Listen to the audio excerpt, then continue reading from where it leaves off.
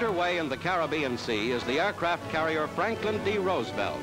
This 45,000-ton memorial to a great American president is on its first extended test cruise. Begun during the war, it is one of the three largest warships afloat.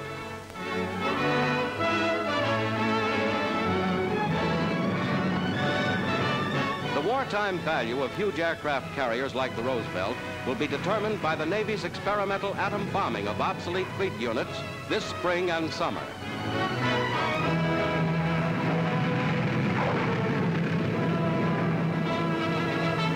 Captain Apollo Soucek commands the carrier undergoing tests at sea.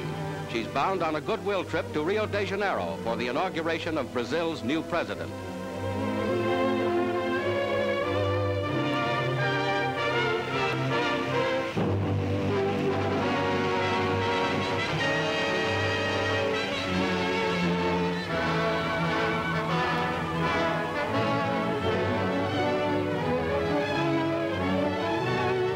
Mammoth Roosevelt turns gracefully into the wind for plane takeoffs, one of the most difficult and dangerous of carrier plane operations.